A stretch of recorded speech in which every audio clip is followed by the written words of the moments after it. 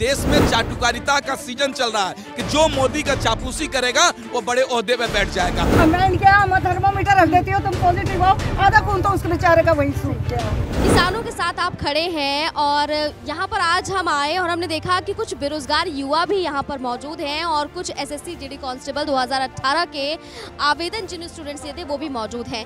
युवाओं को लेकर और देश में बढ़ती बेरोजगारी को लेकर क्या कहेंगे?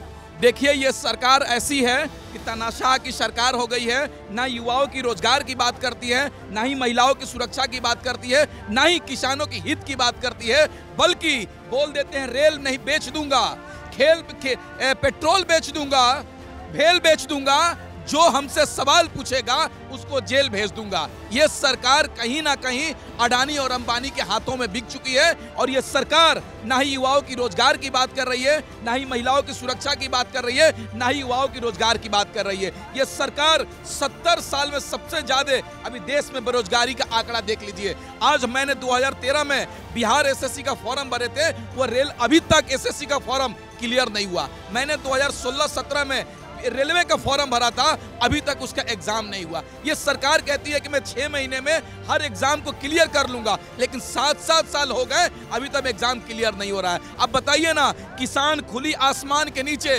लगभग 111 दिन से धरना कर रहा है लेकिन सरकार सुनने को तैयार नहीं है बल्कि सरकार चुनाव में एकदम लिप्त हो चुकी है। बंगाल में प्रधानमंत्री नरेंद्र मोदी जाते हैं और वहाँ कहते हैं कि रोज़गार हम देंगे। बीजेपी कहती है हम रोज़गार देंगे ममता दीदी कहती है कि हम यहाँ पर जो गुंडे हैं जो बाहरी हैं उन्हें भगाएँगे।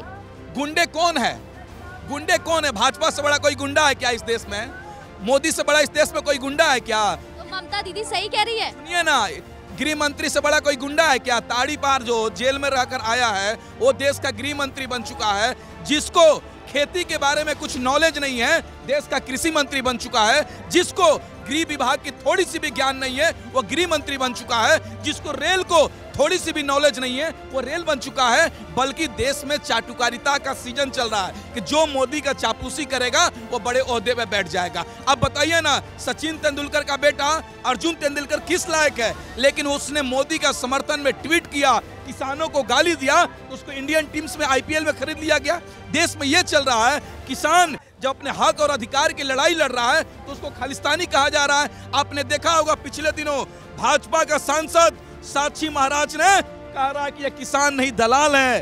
खालिस्तानी है, पाकिस्तानी है। अरे सुनो, शर्म करना चाहिए भाजपा के लोगों। किसान अगर खेती करना छोड़ दे तो आपके और हमारे घर में चूल्हा नहीं जरेगा हम लोग भूखे मर जाएँगे। किसान अपने बेटा को देश की रक्षा के लिए बॉर्डर पर नहीं भेजे तो हमारा देश गुलाम हो जाएगा।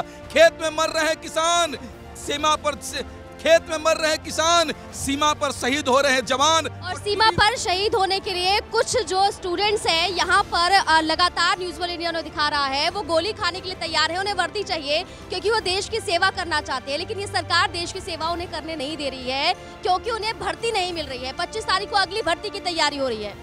देखिए, ये सरकार का, आपको पहले भी हम बता चुके हैं कि ये सरकार जुमलेबाजी की सरकार है। ना ही युवाओं की रोज़गार की बात करेगी, बल्कि अडानी और अंबानी को फ़ायदा पहुँचाने के लिए बात की थी। और एसएससी के बच्चे क्यों यहाँ पर हैं?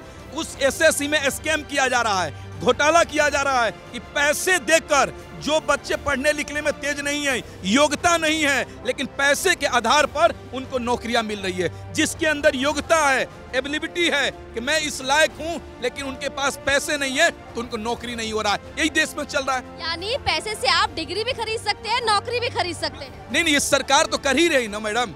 अब बताइए ना बीसीसीआई का चेयरमैन अमित शाह का बेटा बन जाता है, लेकिन हमको बोल रहे हैं कि तुम पकौड़े तलो। मतलब देश में क्या ट्रेंड चला हुआ है? कि मतलब योग्यता के अनुसार आपको नौकरी नहीं मिलेगी, लेकिन चापलूसी करेंगे, राजा के घर में पैदा होंगे तो राजा बन जाएँगे, नेता के घर में पैदा होंगे, नेता बन जाएँगे, क्रिकेटर के घर में पैदा होंगे, क्रिकेटर बन जाएँगे। देश में ये ट्रेंड चल रहा है, लेकिन देश ऐसे नहीं चलता है। योग्यता के अनुसार सबको मिलना चाहिए, सबको शिक्षा, सबको समान, चाहे मजदूर का बेटा हो, चाहे प्रधानमंत्री का बेटा हो, सबको समानता का अधिकार मिलना चाहिए। दुकान खोलो तो भाई भाई बड़ी बल्ले बल्ले हो जाती है।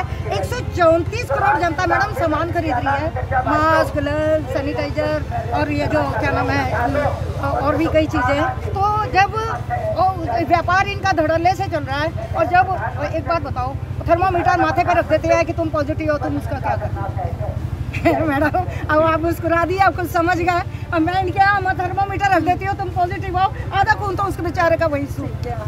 है तो मैडम, वो अब ये मेरे पे विश्वास कर रहा है ना तो ये सब मनगढ़ंत चीज़ें हैं मैडम। इस देश को देशभक्त नेता की ज़रूरत है, जो हमारे माननीय टिकैत साहब जी हैं। इसको सब मोदी इसलिए कहने लगे हैं, जी भी हटा दिया इनके नाम से मैडम। अब मोदी जी कोई नहीं कहता, मोदी मोदी कहते हैं या मोदिया कहता है, क्योंकि कारण यह इसके जो काले कारनामे हैं काले कानून लाए। और सबसे बड़ी बात सुन लो कल मुख्यमंत्री की कुर्सी ला दी मोदी मोदी ने। कारण ये इसके जितने भी अधिकार थे मुख्यमंत्री के, केजरीवाल के, सारे एलजी को सौंप दिए, एक नया कानून बना दिया, मैडम मैडम, नया कानून कि सारी शक्तियाँ एलजी को मिल जाए। ताली मार दो इसी नाम पे। अब बताओ, दिल्ली को इलाके रख दिया। दिल्ली को भी हिला के रख दिया? दिल्ली हिल गई। पहले नहीं हिल रही थी, मैडम। आज पूरा देश हिल गया। आज जो भी बोलता है, मैं सभी दुखी होके बोलते मजदूर निराश, किसान निराश और गरीब निराश। मैडम व्यापारी निराश, जीएसटी लगा दी, थोप दी। व्यापारी निराश और तो और महिलाएँ निराश जो कि आए दिन बलात्कार हो रहे हैं, उनकी सुरक्षा की कोई गारंटी नहीं है। तो अब एक बात बताओ, जब पूरा देश निराश हो गया तो अब तो केजरीवाल मुख्यमंत्री भी निराश हो गए। सारी उनकी शक्तियाँ एलजी के हाथों सौंप दी गई, राज्यपाल के हाथों। तो नया कानून और बना दिया। ये तो कानून बनाने में माहिर है मैडम। ये तो नए से नए कानून बनाएँगे। ये तीन काले कानून जो लाए हैं, उसको अभी उसकी समस्या हल नहीं हुई। केजरीवाल की अलग समस्या खड़ी होगी तो ऐसी स्थिति में ये देश किस दलदल में धस रहा है, किस भेड़ियों गुलामी की जंजीरों में जकड़ रहा है?